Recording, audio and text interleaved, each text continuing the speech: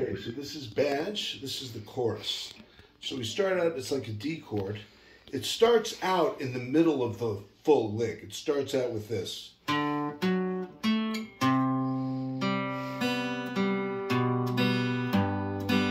it goes into the full lick, which is this.